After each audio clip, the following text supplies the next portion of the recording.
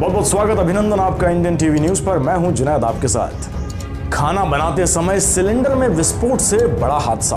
विस्फोट से दो घर डहने के चलते पंद्रह लोग मलबे में दबे। आठ लोगों के दबने से हादसे में हुई मौत। वहीं सात घायल लोगों को अस्पताल में कराया गया है भर्ती। मृतकों में चार बच्चे, दो महिलाएँ और दो पुरुष शामिल हैं। नूरुल हसन के मकान में विस्फोट से दो घर हुए जमींदोज। घायलों का जिला अस्पताल में चल रहा है इलाज।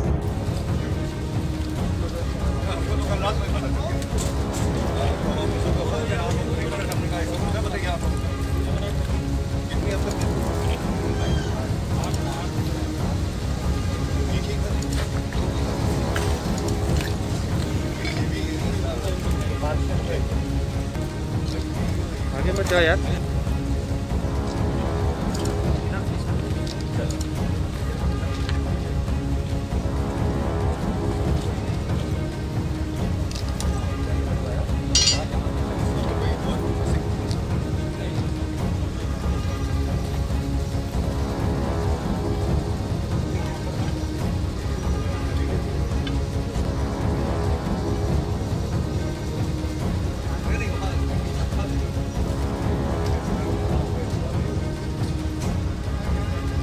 जहाँ पे डायल 112 पे ये सूचना प्राप्त हुई कि एक सिलेंडर ब्लास्ट के बाद एक मकान की छत वो गिर गई है। इस सूचना पे तत्काल पुलिस फोर्स के साथ मैं स्वयं यहाँ पहुँचा है। आईजी महोदय भी यहाँ पहुँचे एवं तमाम फोर्स को साथ प्रशासन पुलिस यहाँ पे राहत बचाव कार्य यहाँ पे शुरू किया गया है। इस राहत बचाव कार्य में अब तक चौदह लोगों को निकाल लिया गया है। सभी को अस्पताल भेजा गया है जिसमें कि सात लोग सकुशल है इलाज उनका चल रहा है और बाकी सात लोगों को मृत घोषित किया गया है।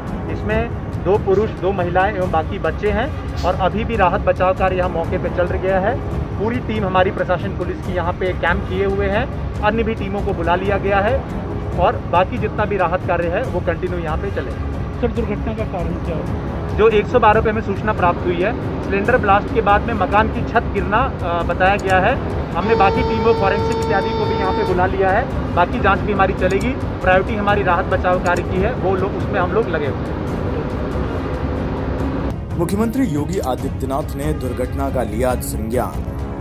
दुर्घटना में मृत हुए लोगों के प्रति व्यक्त किया गहरा शोक। सीएम ने शोक संतप्त परिजनों के प्रति अपनी संवेदनाएँ व्यक्त करते हुए अधिकारियों को तेज़ी से राहत और बचाव कार्य करने के निर्देश दिए हैं। सीएम योगी आदित्यनाथ ने घायलों का समुचित उपचार कराने के निर्देश देते हुए जिला अधिकारी को दुर्घटना के कारणों की जाँच कराकर आख्या उपलब्ध कराने के लिए भी आदेशित किया है।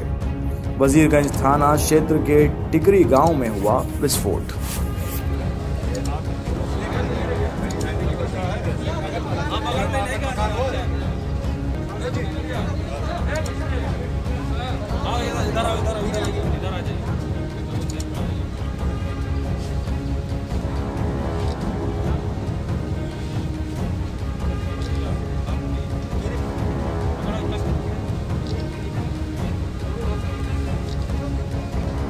दोस्तों, इसी तरह की देश दुनिया से जुड़ी और अपने आसपास की हर खबर को जानने के लिए देखते रहिए इंडियन टीवी न्यूज़ और जल्दी से हमारे चैनल को सब्सक्राइब कर लीजिए।